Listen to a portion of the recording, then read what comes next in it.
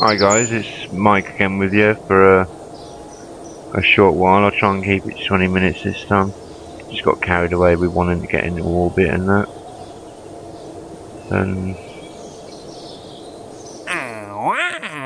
I did say last last episode I wasn't gonna take some of these silly things. That's no indictment over the way anyone else plays the game. I mean, when 2-3 came out, I went for every single science point that I could find in every single biome and when 2.4 came out I had a short time where I was creating all kinds of weird rockets just to get silly contracts done before I realised you didn't really have to take them. You can just leave them there.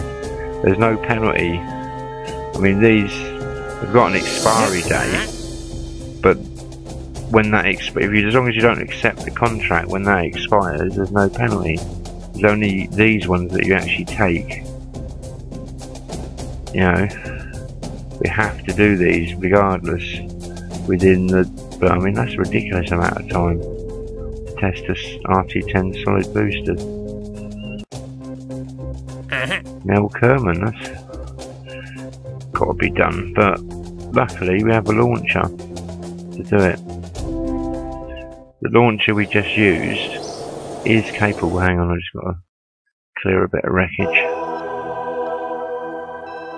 Yeah, we can't just.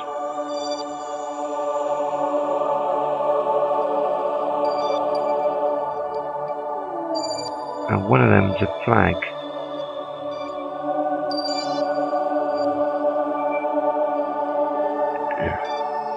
Okay. I can get rid of that. We can't really have that. It's the one in, the one in orbit. That's the one on the ground. A couple extra little science points. A few parts. Yeah, I've played um where I maxed the science tree and you know, but I kind of ran out of steam because it's a shame we can't just swoop in and pick him up and it is such a shame. But at some point they're going to want science sent from in space. And I've got the ScanSat mod installed as well.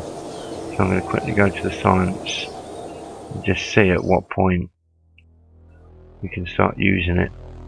It's pretty much redundant without batteries. Well, without solar panels, batteries even we need plane parts at some point. Really eager to get out. That's a ScanSat part.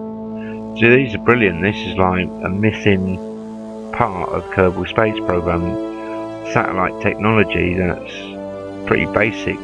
Um, like rocketry stuff. Usually they. Uh, this is you put one of these on one of your vehicles and um, it can then receive the data from this. So you could put that on your lander after it's this has mapped all the biomes and it will just quite happily uh, land using your map information. Obviously you've got to fly it but there's bigger stuff. There's anomaly scanners as well. We can have some fun with that. Go visit a few uh, anomalies. But yeah it wasn't an indictment on the way anyone plays because I've done all kinds of things I mean look at Scott Manley he did that like in one mission in 2-3, one fantastic mission, he just went straight through and just maxed the entire science tree. But what do you do after that? You know, the the way they've done it at the moment, the science is just going to keep coming up. The money's going to keep flowing. You just got to make sure you're not too greedy. So if I went out and did all the the biomes out there, then when they want some science from space, I've done it. And there'd be nothing to gain by it. I'm just wondering if it's worth putting it's obviously not a science mission so we can do without that I'm thinking something like this. And this. Or even just up the other way. That'd be quite interesting. Least I've got room on top to put parachutes.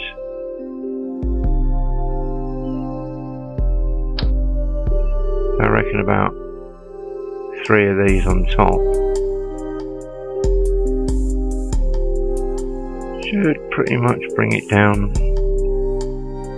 using one for re-entry and yeah, that, should do it. Not sure what it'll do to its ability to take off,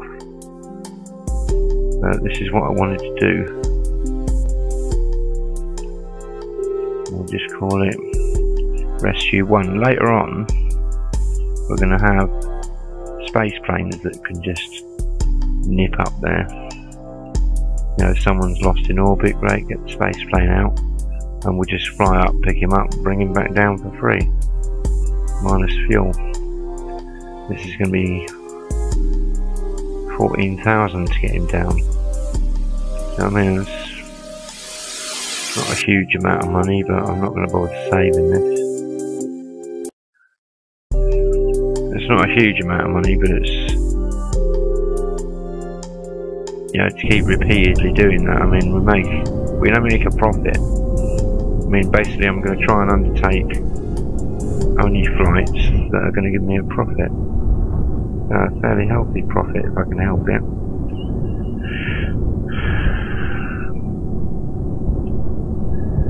Ready, Jeb? Ah, Jeb, we have a problem. Let's just quickly revert you to launch. Now see, I thought that was sorted in the last hour. You know what it was? In the last launch, I discovered Sepratrons were on here on the launch pad and I changed it. I didn't. If I'd have reverted it to the hangar and then saved it, it'd been a different matter. Don't want that.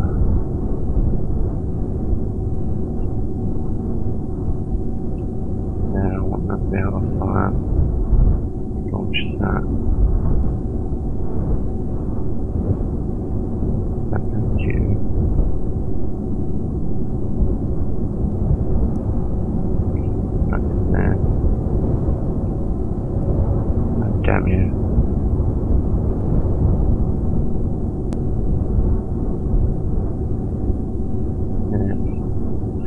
Do. I might separate these actually because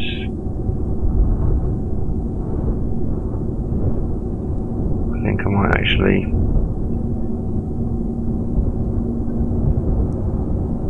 drop the whole chassis you know, before I pop the chutes.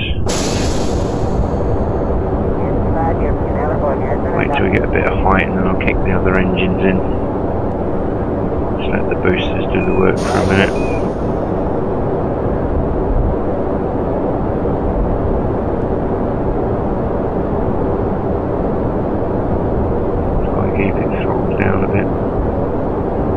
pointless going over 200. Anything over 200 whilst you're in this thick bit of blue atmosphere is just, you know, a bit of roll coming in.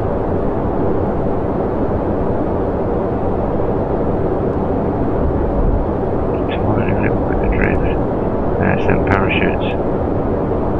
And this is going to be one of those seat your pants launches, I think.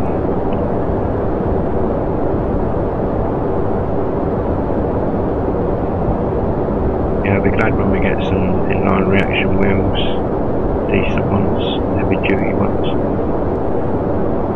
They're definitely worth having.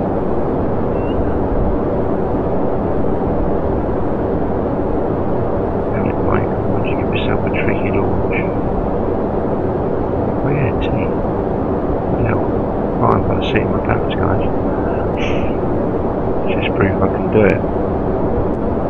I'd love to actually see a few more controls inside the ship and like do a few more IVA flights you know, where you're just inside. But Mark 2 cockpit's got a boring view out of it. Uh,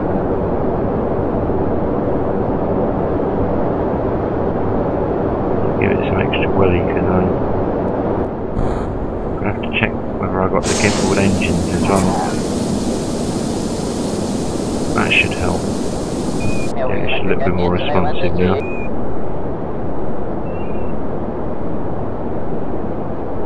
Come on, baby. Coaxed over.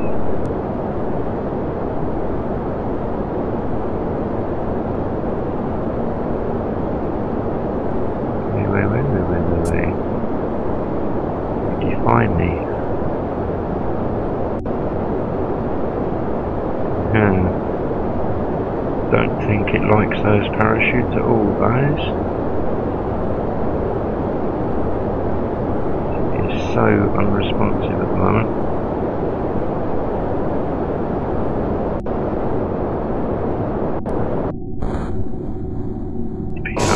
Nicely. That's a little bit better. I mean, it'll be better when we get the fuel um, pipes. They really do help because you can shunt fuel about and you can rebalance your ship. How Are we going to make orbit this time? Yeah, I think so. And the lower the throttle, the higher the specific impulse of your engine. So if you can, assuming you aren't overloaded, and you have to like use maximum throttle, throttle as long as this is increasing, I'm happy. Seem to have the fuel. We got no RCS, so it's going to be a pretty ropey transfer to pick him up. I think.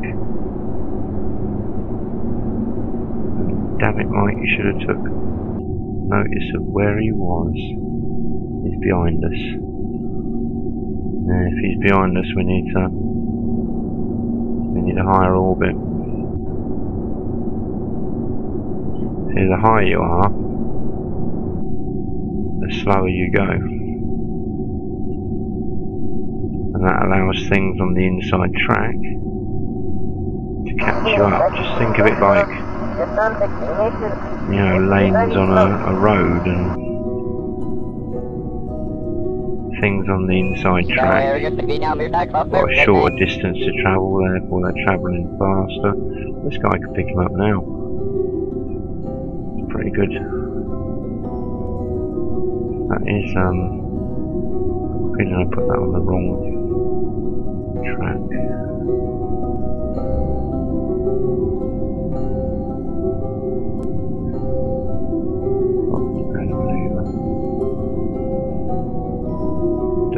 Be fairly precise, so I'm gonna, I'm gonna eyeball it this time.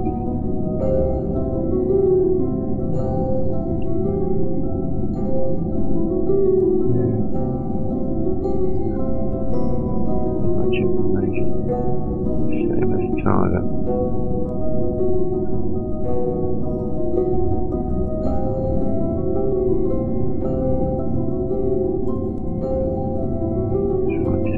In a bit while we've got a bit of floaty tum so we almost kind of get an intercept.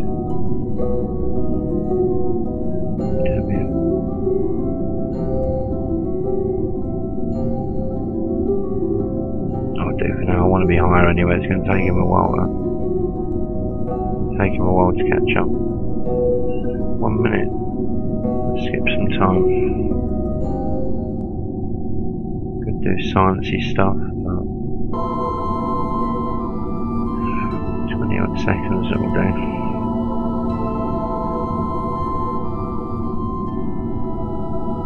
steady burn.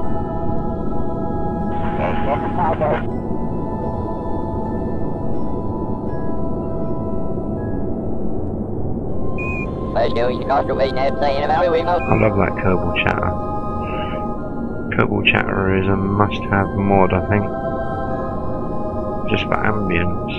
I mean, I tend not to add mods that give me an unfair advantage. That will change the game fundamentally in any way. I like to just um, try and keep it as vanilla as I can. Get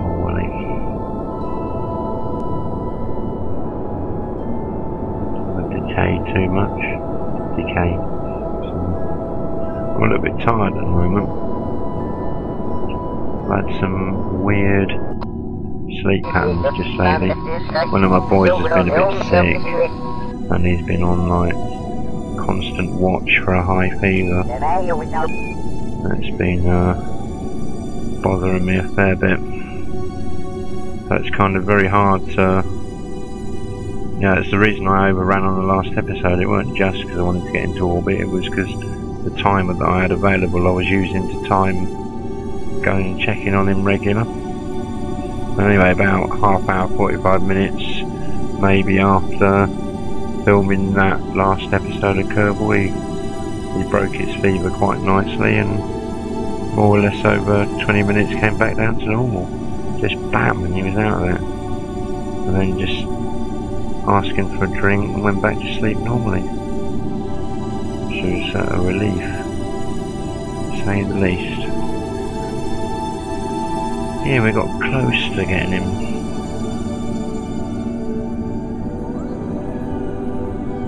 each time we orbit this will close up distance so that's what I'm going to do speed up time a little bit oh I've got my editing software back on board my usual so things are a bit better now and I can resume Space Engineers as well I mean there's no point in me playing Space Engineers without editing because yeah, it's just yeah, there'd be long periods, 20 minutes at a time, not much happening at all. You know, you need to be able to just time skip those. I walk too low. Right. We lose an altitude. Don't think so. We might be losing a bit of speed.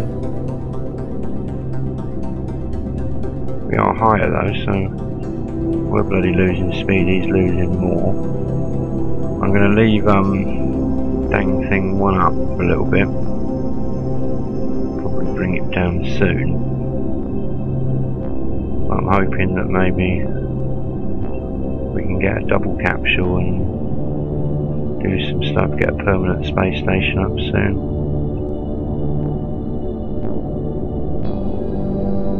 As fast as we can time skip, sorry. I mean, I should be able to actually time skip it some more with editing. Yeah, we're coming in nicely. We'll get it pretty close and then we'll refine it. And yeah, if you've got low fuel, you're best off doing this method. If you try and do any other method, um, there is a few, you know, you can come in hot so to speak but it's one hell of a, a drain on your fuel to decelerate. You know, and you've got to be pretty precise with it.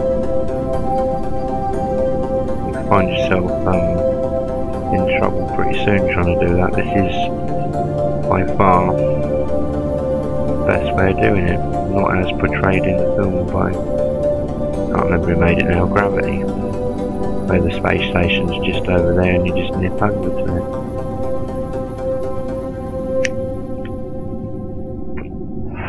Also didn't reinstall DayZ on my system. I was thinking of, I mean that's a horrific game. That terrifies me, that game. If you want to hear me scream, then it'll probably be in DayZ. I mean I'm familiar with Arma 2, so kinda got a... What was that? I bet you... Who's in there anyway? I bet it Jeb. If it is Jeb, I'm gonna build a contract... Yeah, Jeb. I'm going to build a contraption. There better not be two Kerbals in here. I bet one of these is... Yeah. One of these has to be empty. Only one sh Kerbal showing up on there, so I'm presuming one's empty. Bloody better be. Hmm. I'll let you off, Jeb. But we've we really haven't got the fuel to muck about. May not even make this intercept. Yes.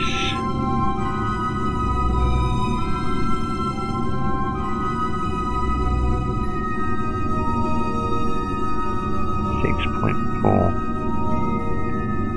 It didn't jump about so much.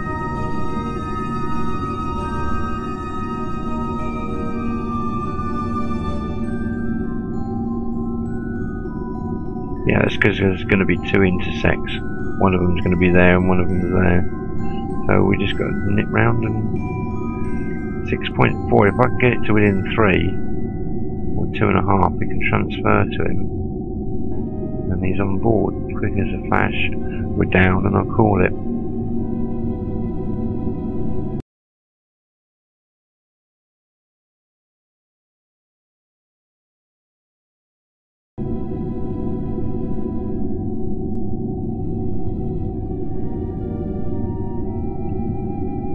Be coming up underneath us quite nicely. If I'd have actually took off when he was about 45 degrees from me, probably would have been more ideal. Probably would have only had to do one orbit. Maybe next time I'll tell you about going in nuclear bunkers.